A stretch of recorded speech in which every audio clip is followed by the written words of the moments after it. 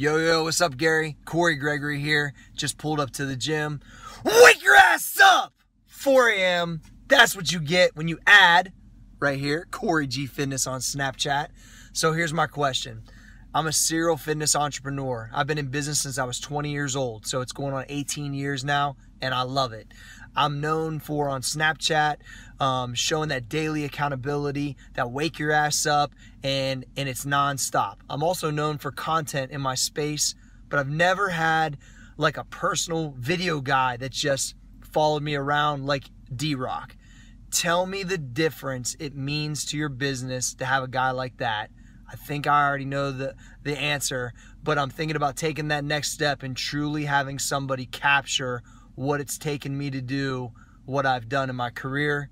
And I'll end with this we will be friends. So I'll see you soon. Thanks. Cory, I think it comes down to um, if you've got something interesting to say or if the content's interesting, it has an impact because the storytelling is good.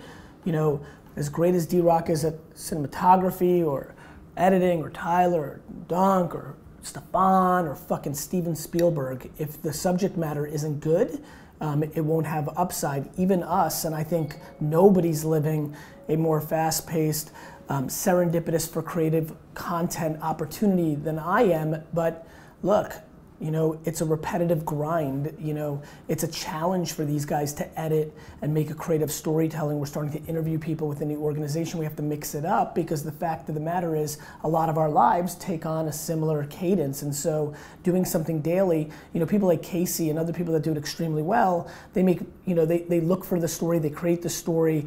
I'm not doing that. I'm documenting over creating. And so, I want to show that grind. But, dude, there's only so many times you can yell at us at 4 a.m. and saying, let's go, you know, and so I, I, think I think the impact on your business and your career and your brand will be that if you've got chops, if you're actually interesting enough, um, if there's things going on, especially if they're not fabricated or created for that scenario and they're authentic, um, more people will be interested in what you've got. You create a wider net. You got an opportunity then to speak to them. I mean, some of the vlog, the vlogging we're doing allows more people to get into my ecosystem and allows me to drill home the four or five things that I feel passionate about telling the world because I want them to win.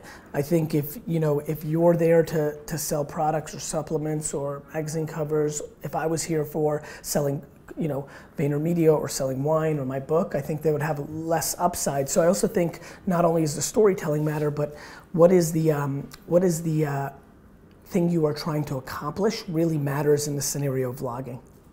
I think Casey, for example, and I have a lot of love for him, like genuinely just is a, is a filmmaker and wants to tell stories, and that's why it does well. There's gonna be a lot of people that vlog that aren't gonna do well because they suck.